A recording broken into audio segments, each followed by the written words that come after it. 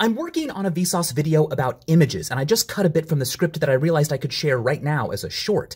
It begins with this book that I had as a kid about the First Ladies. It contains a picture of each one except Margaret Taylor. Of her, it says, no authentic likeness survives. Now, what fascinated me was that this wasn't a new problem. In this image of her husband on his deathbed, which was drawn while she was alive, she is depicted covering her face. Why?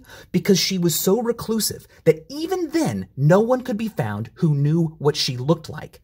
It is remarkable that someone in her position could be so faceless both now and then. But in 2010, everything changed. Two photographs of her were uncovered. You know the old saying that you die twice? First when your body perishes, and then again the last time your name is said?